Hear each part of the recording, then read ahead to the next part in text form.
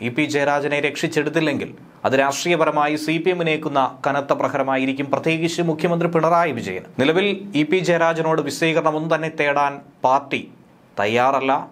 കാരണം അതിന്റെ ആവശ്യകതയില്ല എന്നുള്ള നിലപാടിൽ തന്നെയാണ് എം വി ഗോവിന്ദനും നിലപാട് ഉറപ്പിച്ചു പറയുന്നത്. അങ്ങനെ പ്രത്യേകിച്ചും തിരഞ്ഞെടുപ്പ് ദിനത്തിൽ വിവാദങ്ങളിൽ മുങ്ങി പാർട്ടിയും സർക്കാരും ഒന്നുകൂടി ലോക്സഭാ തിരഞ്ഞെടുപ്പിന് ശേഷം ഇ പി പാർട്ടിയെ വെട്ടിലാക്കി.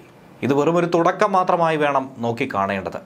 പിന്നീട് അങ്ങോട്ട് പാർട്ടിക്ക് വിവാദങ്ങളിൽ നിന്നും ഒഴിഞ്ഞു നിൽക്കാൻ പോലും കഴിഞ്ഞിട്ടില്ല എന്നുള്ളതാണ് യാഥാർത്ഥ്യം. ഒപ്പം തന്നെ സംസ്ഥാന സർക്കാരിനും. ആത്മകഥയാണ് ഏറ്റവും ഒടുവിലുണ്ടായ വിവാദം. കട്ടൻ ചായയും പരിപ്പ് വടയും ഇത്രയധികം പ്രതിരോധം പാർട്ടിക്ക് മേൽ ചെലുത്തുമെന്ന് ഇന്നേ വരെ ഒരുപക്ഷേ അവരൊന്നും തന്നെ കരുതി കാണില്ല. തന്റെ ആത്മകഥ ഇപ്പോഴും എഴുതിക്കൊണ്ടിരിക്കുന്നു എന്ന നിലപാട് ആവർത്തിച്ചു പറയുകയാണ് ഇ പി ജയരാജൻ. ഇന്നലെ പറഞ്ഞത് അതേപടി ആവർത്തിക്കുന്നു. എഴുതി തീരാത്ത ഒരു ആത്മകഥ അതെങ്ങനെ പ്രസിദ്ധീകരിക്കാൻ കഴിയുമെന്നാണ് ഇ പി ചോദിക്കുന്നത്. ഒരാൾക്കും പ്രസിദ്ധീകരണാവകാശം കൊടുത്തിട്ടില്ല എന്നാണ് പാലക്കാട് നടത്തിയ വാർത്താ സമ്മേളനത്തിലൂടെ ഇ പി ജയരാജൻ പറയുന്നത്. ഡി സി ബുക്സുമായി തനിക്ക് യാതൊരുവിധ കരാറുമില്ല എന്ന് അദ്ദേഹം പറയുന്നു. എന്നാൽ പ്രമുഖ പബ്ലിഷേഴ്സായിട്ടുള്ള ഡി സി ബുക്സ് ഇങ്ങനെ ഒരു നുണപ്രചരണം നടത്താൻ എങ്ങനെ തയ്യാറാകുമെന്നുള്ളതാണ് മറുഭാഗത്തുള്ള ഒരു പ്രധാന ചോദ്യം. അങ്ങനെയെങ്കിൽ അടുത്ത ദിവസം അവർക്കെതിരെ നിയമ നടപടി സ്വീകരിക്കുമെന്നടക്കം ഭീഷണിപ്പെടുത്തിയ ഇ പി കൃത്യമായ വിശദീകരണം നൽകേണ്ടി വരും. ഡി സി ബുക്സ് അതിനുള്ള മറുപടി നൽകേണ്ടി വരും. ആത്മകഥ സ്വന്തമായി എഴുതുന്നു എന്നാണ് ഇ പി ജയരാജൻ പറയുന്നത്. അല്ലാതെ കൂലിക്ക് എഴുതിപ്പിക്കുന്ന രീതിയില്ല. ഉടൻ തന്നെ എന്തായിരുന്നാലും ആത്മകഥയെ പ്രസിദ്ധീകരിക്കും. ആത്മകഥയുടേതെന്ന് പറഞ്ഞ് ചില ഭാഗങ്ങൾ പുറത്തു വന്നതൊന്നും തന്നെ നിസ്സാരമായി കാണുന്നില്ല.